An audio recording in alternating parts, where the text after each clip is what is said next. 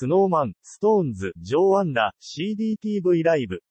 ライブクリスマス SP、第1弾出演アーティスト楽曲発表。12月18日に TBS 系 CDTV ライブ。ライブ、クリスマス SP が、いつもより30分早い夜6時30分から4時間半の生放送でお届けすることが決定。今年のヒット曲を激アツライブするアーティスト第1弾と楽曲が発表された。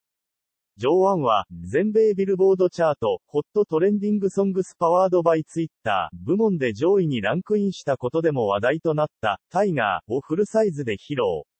一糸乱れぬダンスパフォーマンスを繰り広げる。 SixTONES は、メガボルトが1.1億回再生を突破した、こっから、と統一感のあるダンスが魅力的な、 CREAK を、 Snow Man は、メンバーの目黒蓮の主演映画、私の幸せな結婚。主題歌の、タペストリー、と今年7月期に放送されたドラマ、トリリオンゲーム。主題歌、ダンガーホリックをそれぞれスペシャルメドレーでパフォーマンスする。